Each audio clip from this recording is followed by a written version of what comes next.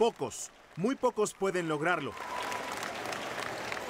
10 cerrado, promedio general en bachillerato, en el plantel Azteca, una de las instituciones mejor evaluadas por el Instituto Mexicano para la Competitividad.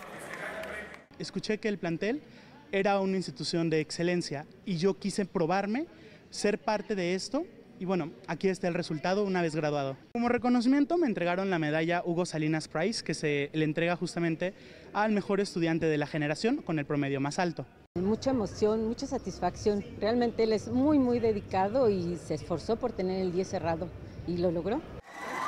El presidente de Grupo Salinas, Ricardo Benjamín Salinas Pliego, encabezó este jueves la ceremonia de graduación del plantel azteca. 463 alumnos terminaron el bachillerato, 147 la secundaria. Qué orgullo para ustedes, para todos nosotros, que el plantel azteca siga produciendo este nivel de, de educación este nivel de chicos y chicas. Y eso no sería posible sin el apoyo de todos los maestros que están aquí. Ah, un gran aplauso, porque la verdad...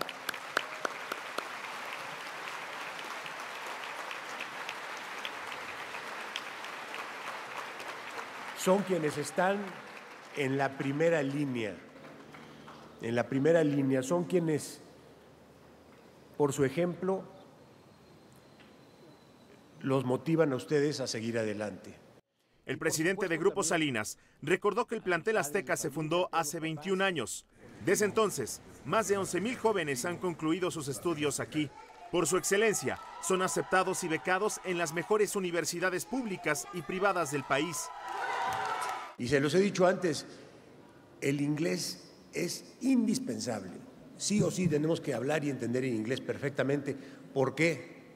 porque es el idioma de la ciencia, el idioma de la tecnología y el idioma de los negocios.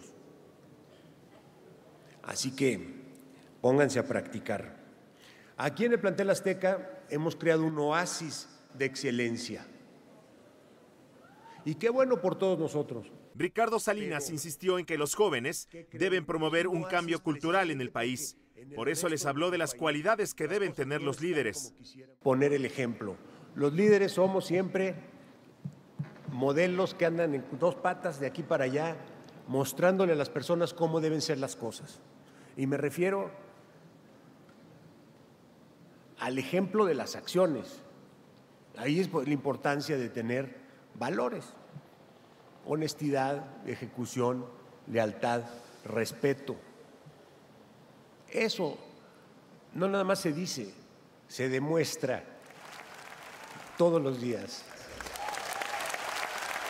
Enhorabuena y que sigan los éxitos. Muchas gracias. Y como este jueves comenzó el Mundial, la graduación estuvo amenizada por los chicos de Cascarita, que dominaron el balón, como estos jóvenes estudiantes que dominarán su futuro. Jorge Muñoz, Azteca Noticias.